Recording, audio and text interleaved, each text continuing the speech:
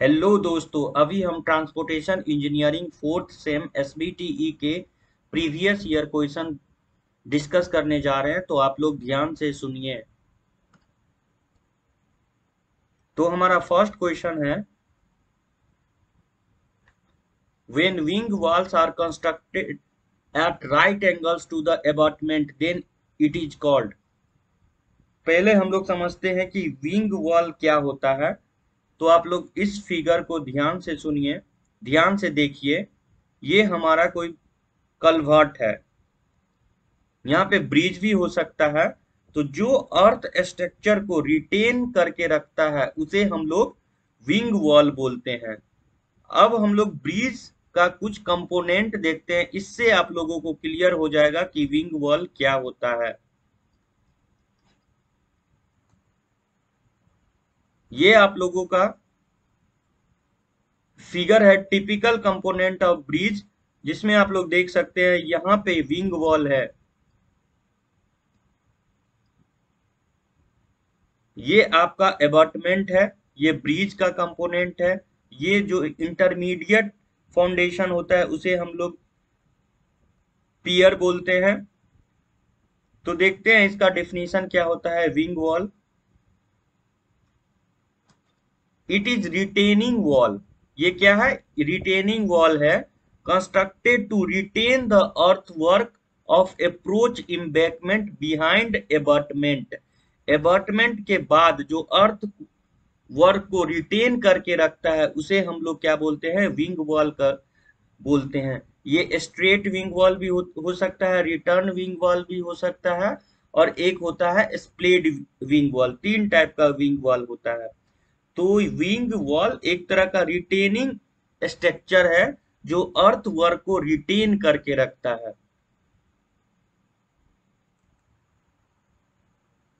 तो देखते हैं विंग वॉल का फ़ंक्शन क्या है। A wing wall has mainly perform the following two function to provide a smooth entry into the bridge side जो भी जब भी हम ब्रिज साइड पे इंटर करेंगे तो स्मूथ इंट्री देगा। To support and protect the embankment embankment को सपोर्ट और प्रोटेक्ट करेगा, किसी भी तरह का, किसी भी तरीका से फेल होने से बचाएगा। क्योंकि एक वॉल प्रोवाइड करते हैं हम लोग, उसके पीछे अर्थ वर्क वगैरह होता है, जिससे ये सपोर्ट बना रहेगा, जिससे स्ट्रक्चर फेल ना हो। तो ये हम लोग लिख सकते हैं। अगर आप लोगों को चार नंबर में पूछेगा तो ये दोनों पॉइंट लिख सकते हैं। तो देखते हैं कि विंग वॉल कितना टाइप का होता है। तो wing wall are of following three types एक होता है स्ट्रेट विंग वॉल ये आपका एबर्टमेंट है। और इसी के स्ट्रेट में जो हम वॉल बनाए, बनाएँगे, उसे हम लोग बोलेंगे स्ट्रेट विंग वॉल अब दूसरा है स्प्लेड विंग वॉल ये 45 डिग्री पे बनाता है एबर्टमेंट के।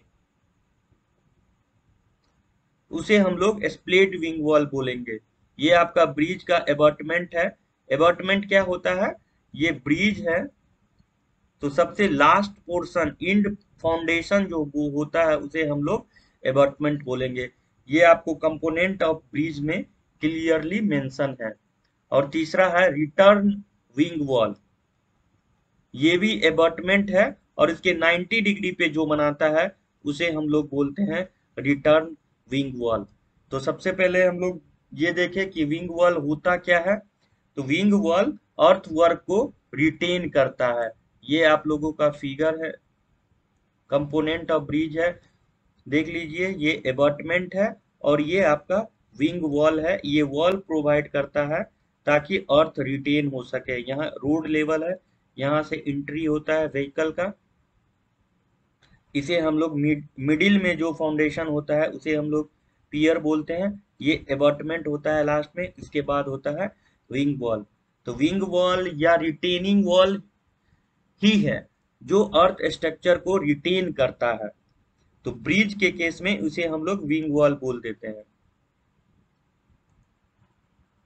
तो विंग वॉल का फ़ंक्शन क्या है? क्या काम करता है? To provide a smooth entry into the breach side or support and protect the embankment.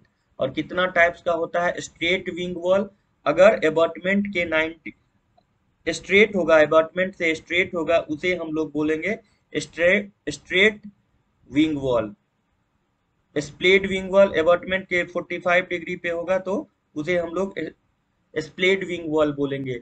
Return wing wall अगर ये 90 डिग्री पे होगा तो उसे हम लोग रिटर्न विंग वॉल बोलेंगे। तो इस क्वेश्चन का आंसर क्या हो जाएगा? हम लोगों का 90 डिग्री पे जो विंग वॉल होता है, उसे हम लोग बोलेंगे रिटर्न विंग वॉल तो विंग वॉल तीन टाइप्स का होता है और तीनों टाइप्स का आप लोग ये वाला फिगर देख लीजिए। स्ट्रेट विंग वॉल और स्प्लेट विंग वॉल जब 45 डिग्री पे होगा और 90 डिग्री पे जब होगा, उसे हम लोग बोलेंगे रिटर्न विंग वॉल तो ये आप लोगों का फिगर है विंग वॉल का। विंग वॉल ये अर्थ वर्क को रिटेन कर रहा है।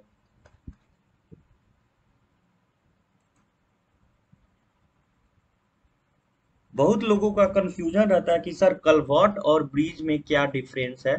बेसिकली ये स्पैन का जो डिफरेंस होता है, उसके आधार पे हम लोग डिवाइड करते हैं कि कौन सा कलवर्ट है और कौन सा ब्रिज है। तो आप लोग ये देखिए, अगर स्पैन लेंथ आठ मीटर से कम होगा तो इसे हम लोग कलवर्ट बोलेंगे। अगर आठ metre eight metre to thirty metre होगा, उसे हम लोग माइनर ब्रिज बोलेंगे। अगर ग्रेटर देन थर्टी मीटर होगा तो उसे हम लोग मेजर ब्रिज बोलेंगे। अगर स्पैन ग्रेटर देन 120 मीटर होगा तो उसे हम लोग लॉन्ग स्पैन ब्रिज बोलेंगे। तो इसे आप लोग ध्यान में रखिए। ये भी ऑब्जेक्टिव में पूछ सकता है। एट मीटर से कम अगर लेंथ होगा स्पैन का, उसे हम लोग कलवर्ट के कैटेगरी में रखेंगे।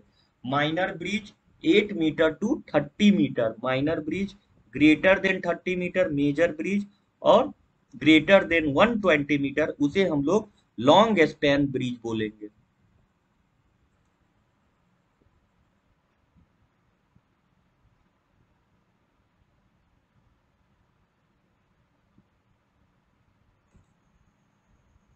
सेकेंड क्वेश्चन है spread foundation is a type of which type of foundation तो सबसे पहले हम लोग देखते हैं फाउंडेशन का टाइप्स तो इसमें हम लोगों के पास दो टाइप का फाउंडेशन है सेलो फाउंडेशन और डीप फाउंडेशन सेलो फाउंडेशन के अंदर आता है राफ्ट या मैट और फूटिंग दो टाइप का. फूटिंग के अंदर आता है आपका isolated footing combined footing strip strap spread तो ये आप लोगों का सैलो फाउंडेशन है. आइसोलेटेड फूटिंग हो सकता है स्क्वायर भी हो सकता है, ये सर्कुलर भी हो सकता है और ये रेक्टेंगुलर भी हो सकता है। तो इस ऑब्जेक्टिव का आंसर क्या हो जाएगा? Spread foundation is a type of shallow foundation क्योंकि सैलो के अंदर ही आइसोलेटेड कंबाइंड स्ट्रीप स्ट्रैप और स्प्रेड आ रहा है। अब देखते हैं डीप फाउंडेशन के अंदर आता है पाइल वेल या कैशन या कॉफर डैम तो देखते हैं स्प्रेड फुटिंग क्या होता है? सारा लोड जो है कॉलम का सारा लोड होगा डिस्ट्रीब्यूट हो जाएगा इवेनली इस कंक्रीट फाउंडेशन पे। तो उसे हम लोग स्प्रेड फुटिंग बोलेंगे। इस फिगर को आप लोग ध्यान से देखिए। और स्ट्रैप फुटिंग जो होता है, दो आइसोलेटेड फुटिंग के बीच में एक स्ट्रैप बीम होता है। Strap is a simply act as a connecting beam उसे हम लोग स्ट्रैप फुटिंग बोलेंगे। ये स्ट्रैप बीम से कनेक्टेड है। उसे हम लोग स्ट्रैप फुटिंग बोलेंगे। स्ट्रीप फुटिंग क्या होता है?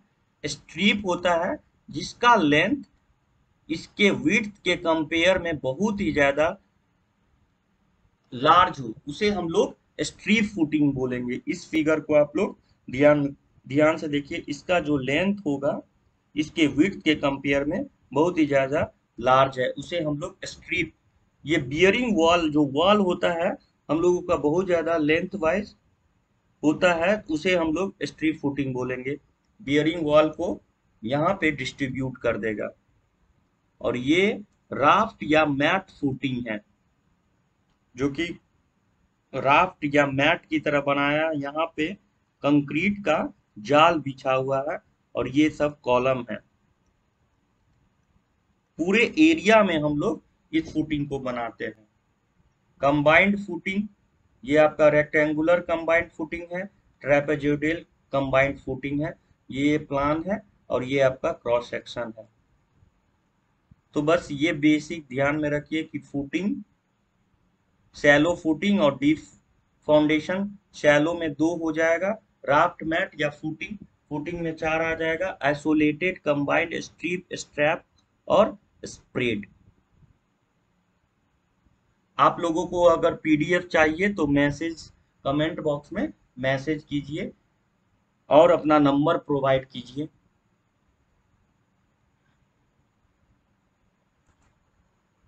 थर्ड क्वेश्चन है a pier is a support of a bridge तो जब भी ब्रिज का क्वेश्चन आए तो हम लोग एक उसका कंपोनेंट देखेंगे कि क्या सब होता है। ये देखिए, ये आपका पियर है। तो जो कि जो सबसे इंड में होता है, उसे हम लोग एबर्टमेंट बोलते हैं। तो जो मिडिल में होगा, उसे हम लोग पियर बोलेंगे। तो इसका आंसर क्या हो जाएगा? A pier is a intermediate support of a bridge end में क्या होता है? इंड में होता है आपका एबर्टमेंट होता है।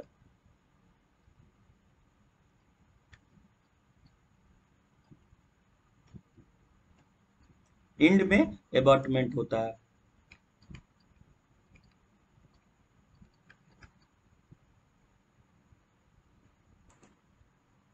नेक्स्ट क्वेश्चन है which of the following is a component of bridge abutment सबसे इंड में जो होता है, उसे हम लोग एबॉटमेंट बोलेंगे।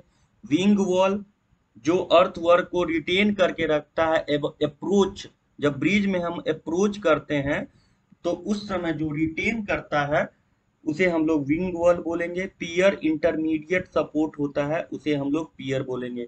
तो इस क्वेश्चन का आंसर क्या हो जाएगा? Which of the following is a component of a bridge ये तीनों ही कंपोनेंट ऑफ़ ए ब्रिज हो जाएगा। तो ऑल ऑफ़ द एबव एक बार और आप लोग कंपोनेंट ऑफ़ द ब्रिज का फिगर देख लीजिए।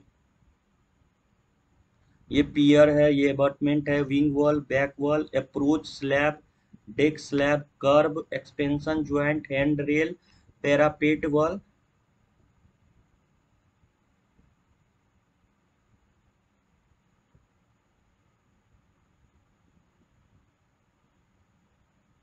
इससे बियरिंग से नीचे जो स्ट्रक्चर होता है, उसे हम लोग सब स्ट्रक्चर बोलते हैं और बियरिंग के ऊपर जो स्ट्रक्चर होता है, उसे सुपर स्ट्रक्चर बोलते हैं।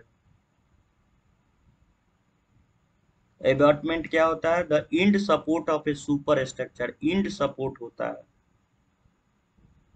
Superstructure of a bridge are called abutment जो इंड में सपोर्ट करता है, किसी भी ब्रिज को, उसे हम लोग क्या बोलेंगे? एबॉटमेंट बोलेंगे। ये फ्लैट भी हो सकता है या आर्च भी हो सकता है। फ्लैट मतलब सीधे इस टाइप का भी हो सकता है या आर्च बना भी आर्च के जैसा भी हो सकता है। They transmit from the superstructure of a bridge to the foundation superstructure के लोड को कहा ट्रांसमिट करता है? फाउंडेशन तक ट्रांसमिट करता है, भेजता है। The depth of the abutment should be adopted based on calculation calculation करके हम लोग इसका डेप्थ निकालते हैं। नेक्स्ट क्वेश्चन है which of the following is a permanent bridge तो परमानेंट ब्रिज का आंसर हो जाएगा कलवर्ट तो हम लोग इसमें देखते हैं। तो इसका आंसर हो जाएगा culvert permanent small bridge pipe culvert box culvert ये सब परमानेंट ब्रिज है। और टेम्पोरी ब्रिज में आ जाएगा आपका timber bridge causeway steel bridge movable type floating bridge तो ये ध्यान में रखिए। हम लोग पहले टाइप्स ऑफ़ ब्रिज देखते हैं कि क्या होता है। क्लासिफिकेशन ऑफ़ ब्रिज तो हम लोग देर फ़ंक्शन के बेस्ड पे भी ब्रिज को क्लासिफाई कर सकते हैं। Railway highway foot bridge aqueduct material के बेसिस पे भी हम लोग क्लासीफाई कर सकते हैं। लाइफ स्पैन के बेसिस पे भी हम लोग क्लासीफाई कर सकते हैं। तो ये पॉइंट आप लोग ध्यान में रखिए। ब्रिज देखिए। क्लासिफिकेशन ऑफ़ द ब्रिज में भी done as flow permanent temporary permanent में बिग स्मॉल टेम्पररी में टेम्पररी फिक्स और movable bridge according to the material of the construction किस मटेरियल से बना होता है, उसके बेसिस पे भी हम लोग क्लासिफाई कर सकते हैं। Timber bridge masonry bridge steel bridge RCC bridge ये सब क्लासिफिकेशन ऑफ़ द ब्रिज है परमानेंट या स्मॉल ब्रिज टेम्पररी ब्रिज तो ये सब थ्योरी क्वेश्चन का पोर्शन हो जाएगा, जो चार नंबर ये छह नंबर में पूछ सकता है। अगर कोई भी दिक्कत हो, किसी रिलेटेड किसी टॉपिक से रिलेटेड आप लोग पढ़ना चाहते हैं तो कमेंट बॉक्स में लिखिए।